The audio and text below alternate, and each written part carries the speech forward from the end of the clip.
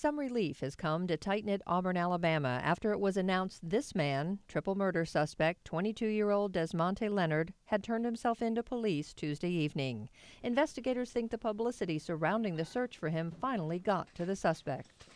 You can't run but so long, and it's, it's, a, it's a psychological thing. Uh, we, we were going to pursue until we caught him, whether he turned himself in or not. A manhunt was launched for Leonard after a shooting at this apartment complex near Auburn University.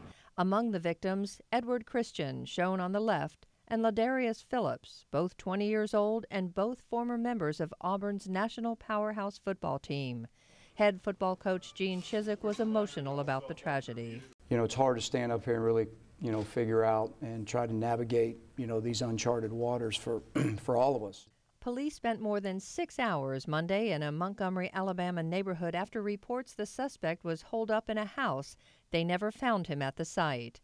With Leonard now in custody, investigators hope some healing can begin for the victims' families. I know your young men won't be coming home, but uh, hopefully this arrest will give you some closure. Besides Leonard, two others have also been taken into custody. 41 year old Gabriel Thomas is accused of misleading investigators, while 18 year old Jeremy Thomas was allegedly at the shooting scene with the suspect. I'm Mary Ellen Hopkins reporting.